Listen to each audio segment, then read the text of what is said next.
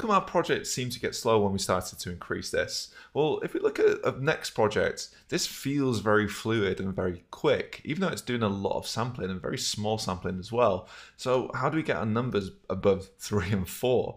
Well, the issue that we have is actually to do with this copy. So if we look at what copy actually does, it can take an image and then kind of replace it pixel by pixel.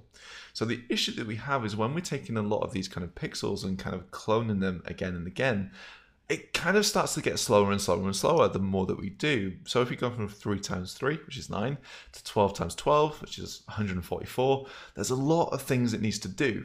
So how do we make this speed up? Well, there is an alternative which is a lot quicker. So if I go back to reference, I can go down to rendering and I've got things like create graphics. If I click create graphics, what's it suggesting here?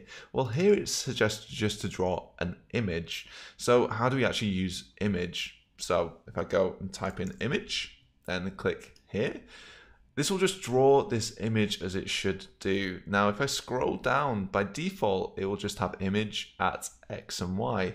But in here, there's a lot of things I can actually add in. There's actually nine things in total that I can do. So what happens if I just switch to copy to image? So in here, I'm just going to quickly change copy to image. And this will mess up, so it will look a lot different. And the reason for that is image has different parameters in here than something like copy does. So if I quickly just go back to copy, we'll see in copy it has the source of these and then the destination. Whereas with image, if I just go back, where is it? Image has the other way around. It has the destination and then the source. So we kind of want to do it the opposite way around. I don't know why they're different. I think they should be the same personally, but what we can do is actually just switch this around.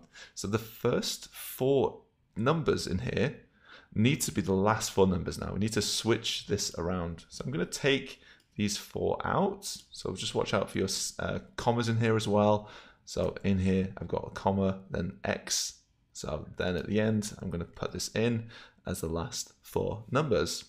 Now this now should look the same as it did previously, but now it means that we can actually up these numbers a lot more and do 12 and 12, and then I can change this number to 25, let's say, and what we'll get is something a lot quicker, and it renders a lot quicker than it previously did. Maybe that should be 50 actually, to make it a little bit bigger. There we go, we've got a lot more things in here.